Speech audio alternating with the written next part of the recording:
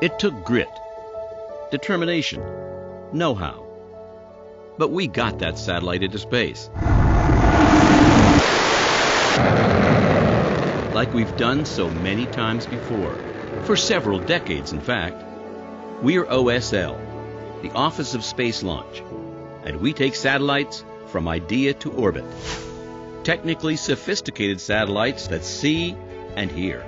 Satellites that help find the bad guy, identify problems, and keep us safe. How do we do it?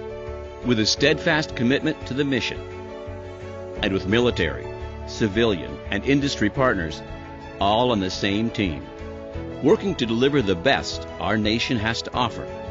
We do it fast. We do it creatively. We do it together.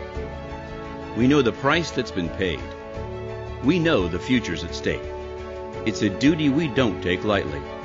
Time away from family and friends is a small price to pay when our purpose is to ensure our freedom.